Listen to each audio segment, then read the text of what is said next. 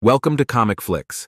In this video, we will be delving into the world of DC and explore how Robin and Superboy first met, and how they eventually formed the dynamic duo known as the Super Sons.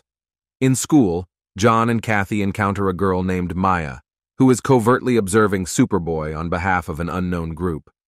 When the school day ends and Kathy heads home, Superboy ventures to investigate peculiar events in Dead Man's Swamp. There, he encounters peculiar creatures and is unexpectedly seized by the enigmatic Nobody, along with her flying companion Goliath, lifting them into the sky. It turns out that Nobody is, in fact, Maya, the same girl Jon had met earlier at school.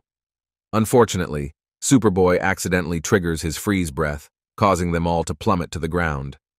Goliath barely manages to shield the kids before they hit the ground, but Superboy loses consciousness. Upon regaining consciousness, Superboy finds himself restrained on a table deep within the Batcave, under the watchful eyes of Robin and Nobody. Robin is displeased with Superman and his family for using Batman's property and views Superboy as a potential threat. Batman arrives, seeking to resolve the misunderstanding, and is frustrated with Robin's attitude.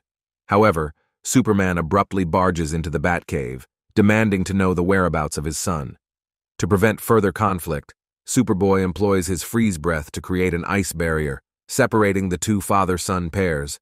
Superman is granted enough time to calm down, and eventually, everyone gets to know one another. Batman conducts a DNA analysis on Superboy and expresses concern about his emerging powers, promising to keep Superman informed. Superman inquires whether their fathers ever had doubts about raising their children, to which Batman responds that all good fathers do. Unfortunately, Superboy and Robin initially get off on the wrong foot, which is exacerbated when Robin makes an ill-advised joke about Superboy accidentally harming his pet. This leads to Superboy attacking Robin, resulting in a heated confrontation that only ends when their fathers sternly intervene. To instill the value of teamwork in their sons, Superman and Batman organize a training mission in the frigid mountains. Equipped with their superhero attire, Superboy and Robin encounter Nobody, who lays out the exercise's rules. The challenge doesn't end with her. They must conquer three more trials to earn their respective badges. Regrettably, nobody's sonic powers trigger an avalanche, sending the kids tumbling down. Capitalizing on the chaos, Robin takes one of the badges and boards a train home. Nobody hands Superboy a leather jacket and advises him not to lose faith in Robin as he boards the train.